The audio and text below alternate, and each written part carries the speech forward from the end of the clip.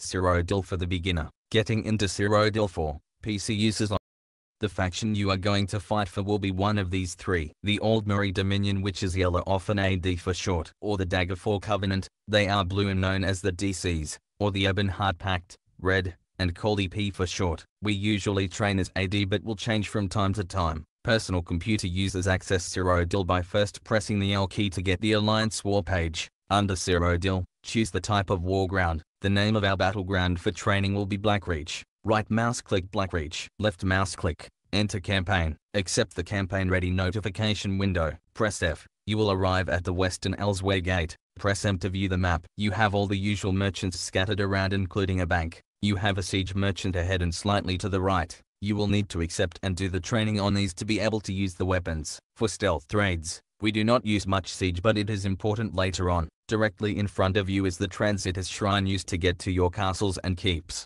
First timers speak to our current to get the quest Welcome to Cyrodiil. You can choose to either talk to Viraniel to start the training or talk to Grand Warlord Sorcalin to skip the training. Speak to General Ataba. She will speak to you about battle and warfront missions. I suggest that you do all this training before the raid, so you will be ready. At the time of the raid, the leader will give the code in chat. Enter this code and you will automatically be invited to the group. You will find the invitation in the notifications window press N key. Accept this invite whether you are in Cyrodiil or not and you will become part of the group. On Discord, go to the PvP events channel to meet with the other members of your raiding party. It's the third one down under events. You can find all sorts of goodies by scrolling up. If you don't have a microphone, that's okay but you will need to be able to listen and hear what is going on. Your character will need to be sneaky. Nightblades are good but there are all sorts of builds you can use. I suggest that you google it or discuss it with other guild members. Don't be too fussed about it for your first mission in Cyrodiil. The important thing is to have your first experience and sort out all the other details later.